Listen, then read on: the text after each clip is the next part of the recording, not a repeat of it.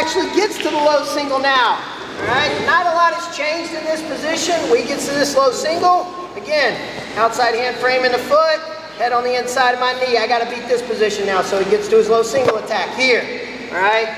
First thing I've gotta do is get weight on my doggone foot, okay? Height doesn't win in a scramble, all right? People that say that is just a generic term because they don't kind of understand the whole totality of scrambling. Well, first thing that wins in a scramble is more feet in the mat. Okay? So if I got one foot in the mat, he's got two feet in the mat, he's winning the scramble. All right, we got to understand that. Any wrestling position, it's a battle of feet in the mat. The more feet I have in the mat, more power I can generate, the more direction I can change, it makes me athletic. I'm not talking about I was born with a lot of athletic ability. What I'm talking about is I can generate power, I can move around if my feet are in the mat. If I got one foot in the mat, I can't change direction near as much as when my feet are in the mat. So you got to understand that. If my feet are connected to the mat, I'm more athletic, period. In every position in wrestling, especially in scrambling. So when we're scrambling, first thing that's going through my head is feet in the mat. Okay, literally feet in the mat. Now he's attacking my lead leg, so it's super important that I get weight on my lead leg. So as soon as he makes contact, knee hits the shoulder. Knee jams into the shoulder, then slides outside of the shoulder. Somebody see that? I'm jamming his shoulder, then sliding outside. All I want you to do is dive straight over the top once your knee beats his shoulder.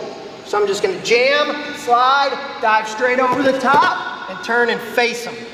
Okay? I'm turning towards him and facing him. So the minute he makes contact with this low single, jam, weight on my foot. Got a good drive leg, knee slides outside, dive straight over the top. Watch what my chest does. Faces the mat the entire time. It's not a car wheel, it's not some weird spiral, death dive, okay? My chest stays facing the mat, like a superhero flying through the air, and I turn in towards his body.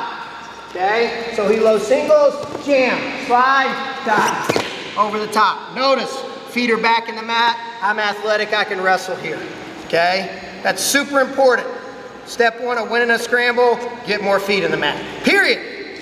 Get feet in the mat. Questions? Anybody need to see it again? One more time. All right. Go single, jam, slide, outside the shoulder, dive straight over the top. Notice my hands hit, then my feet snap, knees snap under me. I don't hit my hip, I don't go to my elbows. Those are positions where I'm not very athletic. Hands hit, knees snap, feet make contact with the mat. Okay, we'll start piecing the rest of this finish together in a minute. Go.